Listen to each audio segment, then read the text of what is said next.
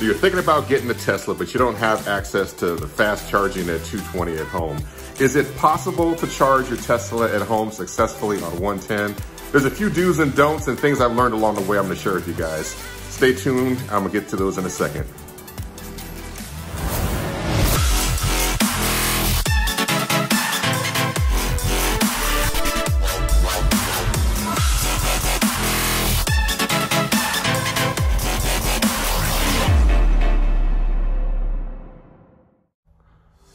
What's up, everybody? Andre, Andre Reese.biz. All right, guys, not only do I do taxes and uh, accounting, bookkeeping, I do a whole bunch of other stuff. All right, guys, so what I'm gonna talk to you guys today about is uh, charging your Tesla. So a lot of people right now, Tesla's probably one of the most popular electric vehicles on the planet right now. And a lot of people are thinking about getting Teslas. They're coming down in price. They're even talking about coming out with a new Tesla soon that's gonna be about $25,000. So Tesla has never really intended for anybody to use the superchargers as their regular ongoing uh, source of power to charge their car. It actually damages your battery over time. They consider your your uh, your primary source of charging your vehicle is going to be at home in your garage.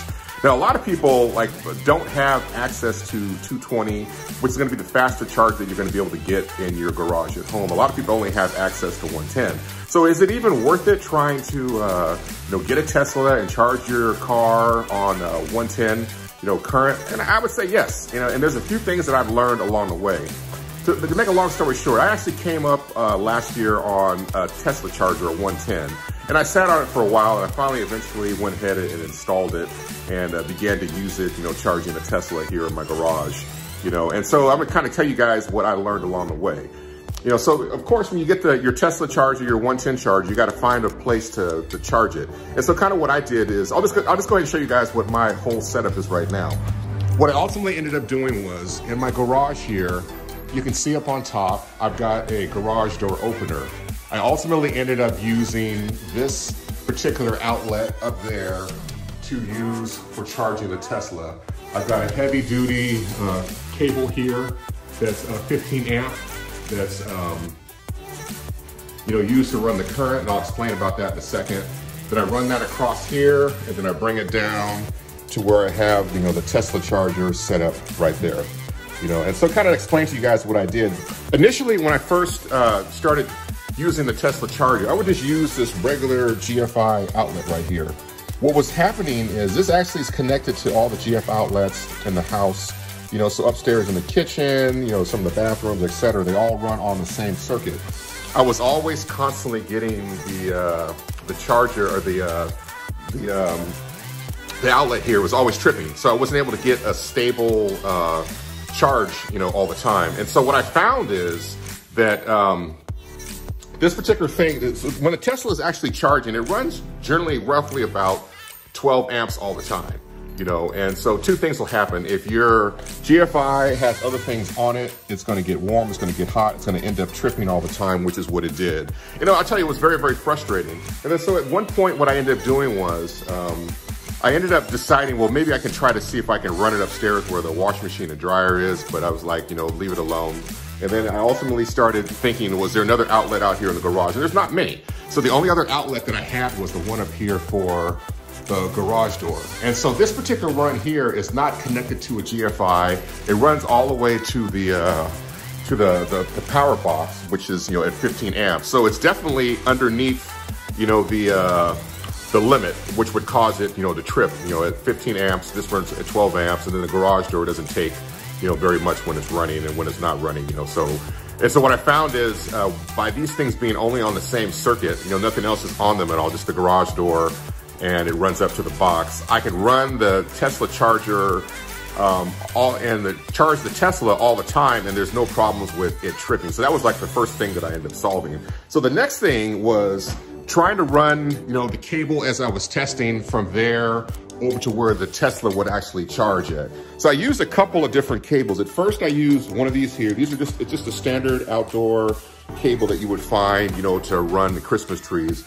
I'll tell you, this thing would get really, really, really hot, really warm. So I, I said, okay, let me go ahead and opt for a, a heavier duty type of uh, cord here. This thing has a built-in surge protector that jumps on at about 11.5 amps.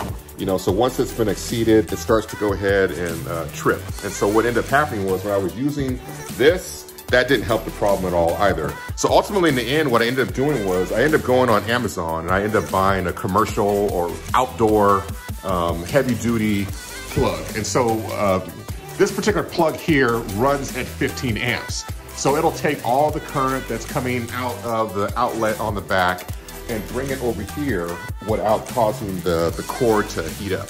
You know, so it's, it, it'll definitely take the higher amount of current. So once I went ahead and got that particular problem solved and you plug it into the Tesla, there was no problems at all with the car shutting off or with the, uh, with the circuit breakers kicking in. You know, so in the end, you know, what you ultimately have to do is you have to, if you're able to come up on one of these Tesla chargers, you know, that are 110, great. You just need to, the only other issue you're gonna have to deal with is you're gonna try to find an outlet in your garage that is not GFI that runs directly to the box. And, and for whatever reason, the way it's set up here in my garage here is this particular outlet runs straight up to the, the, the, the box upstairs and uh, there's not really anything else that's on it, you know, so there's very little current that's being drawn. So now that I have that set up with the wiring all ran over to here, I can plug a Tesla in and I can charge it and it stays stable. I can have it plugged in for weeks at a time and then there's never any problems at all with um, with with the Tesla, you know, constantly tripping and setting off the uh, the circuit breaker.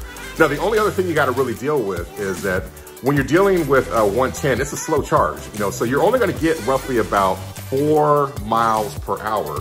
And I'll tell you, if you don't drive a lot in a 24 hour period of time, you're going to get roughly about 100 miles of charge.